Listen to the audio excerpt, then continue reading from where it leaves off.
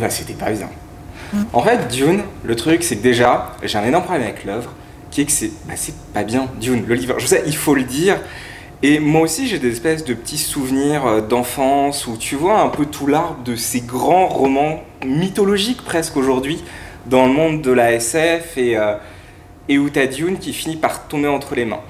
Et euh, Dune, pour moi, il y avait un enjeu. Je veux dire, euh, j'avais lu Le Seigneur des Anneaux, donc gros monument. J'avais lu La Belgariade, pas un très gros monument, mais quand même, j'étais quand même dans cette petite suite logique de tous ces pavés euh, qu'on te lance à la tête en mode tu les as lus, tu, bah, tu les lis. Et là, tu réalises qu'en fait, euh, il y en a qui t'avaient dit c'était une grande aventure incroyable. Et là, tu vois qu'en fait, ben, c'est surtout les lamentations profondes d'un jeune demi-débile quand même, parce que Paul Atreides, il a quand même pas inventé l'eau tiède, euh, en plein délire mystique à longueur de temps, en mode je suis Jésus, mais je suis pas convaincu, et j'ai des visions, et du coup ça donne des drames euh, temporels où je vois dans plusieurs espaces-temps, et déjà que c'est quand même pas très compréhensible, là on rentre dans l'horreur la plus totale. Donc voilà, pour l'aventure c'était compliqué. Mais on m'avait dit aussi, c'est aussi un space opéra incroyable qui se passe quasi tout le temps sur la même planète ensablée avec les gentils sauvages du désert, pas du tout cliché, qu'on n'a jamais vu dans d'autres œuvres. Donc l'idée est chouette. Appeler ça un space opéra, je sais pas. Et le problème, je m'avais dit, c'était euh, l'incroyable densité, la pureté des jeux politiques entre tous ces génies pleins de master plans étranges. Alors je les ai pas trouvés. Euh, j'ai vu l'empereur euh, obèse au fond de son trône, ce qui n'est pas du tout, du tout un cliché. Pardon, pas l'empereur, le comte Harkonnen, euh, qui fait des espèces de rires un peu lointains en faisant ses master plans de grands, grands méchants. J'ai vu le- les gentils hein, qui font pas les master plans parce qu'ils sont gentils, donc ben ils, ils meurent tous. En fait, c'est manque de bol. Et l'empereur lointain, on sait pas trop, mais il, il masterplanise un peu, même si on comprend pas trop l'intérêt de se débrouiller soi-même pour faire s'effondrer tout son empire. D'un point de vue master plan, je pense qu'on a, vu mieux quand même.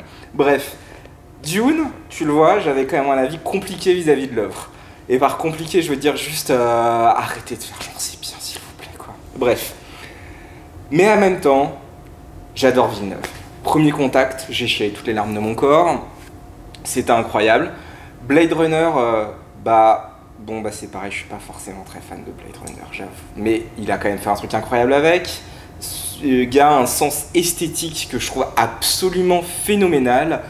Et donc, si, euh, genre, euh, Villeneuve demain fait un film de 3h20 sur Oui Oui, j'irai voir 3h20 de Oui Oui. Et je suis sûr que Oui Oui, il aura un vaisseau spatial extrêmement stylé avec une musique qui fait quand il monte dans sa petite voiture de Oui Oui, euh, vaisseau spatialisé, quoi. Et donc, j'irai voir. Et donc, j'ai été voir Dune. Et donc, ben, bah, c'est pas bien. Mais c'est joli.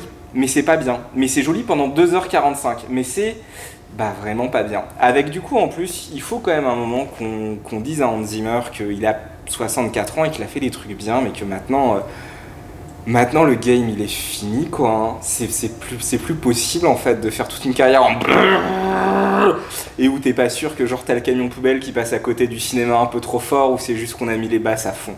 Donc voilà, ça, problème.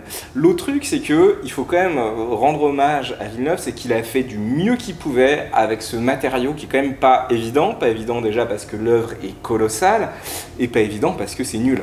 Euh, le truc qu'il a, qu'il a réussi à faire, du coup, c'est déjà, il y a toute l'esthétique de Villeneuve, avec tous ces plans extrêmement en profondeur, extrêmement riches, avec des bonnes idées graphiques à longueur de temps. Et ça, ça marche tellement bien. Le gars a un sens esthétique, mais magistral.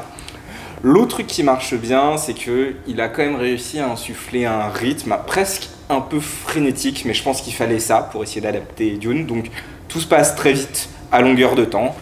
Et du coup, ça rend le truc un peu plus digeste. Il a réussi à couper dans le délire mystico-bullshit quand même euh, de manière très très appréciable. Hum, Et dernier truc, il a réussi aussi parce que c'est quand même un bouquin, je crois, de 68 Dune, je sais plus, 62, je crois que c'était publié dans une revue en 62. Euh, et toujours est-il qu'il a réussi là-dessus à le moderniser un peu. Certains personnages masculins, par exemple, sont des personnages féminins, je ne spoilerai pas. Euh, parce que sinon, en fait, je pense qu'il y aurait un compte de personnages féminins à peu près de euh, deux, genre euh, son intérêt amoureux qu'on voit dans des petites phases éthérées au loin, où elle le regarde dans une vision en mode totale objectivation, un peu dégueulasse, mais bah voilà, et sa maman. Voilà, donc c'est un peu nul. Donc ils ont quand même fait l'effort d'en rajouter un peu. Euh, et ça, on apprécie quand même, je veux dire, en 2021. Euh, maintenant, ça reste un peu piteux, parce qu'il faut reconnaître que là-dedans, euh, dans l'œuvre, ça a encore plus mal vieilli que le reste sur toutes ces questions-là.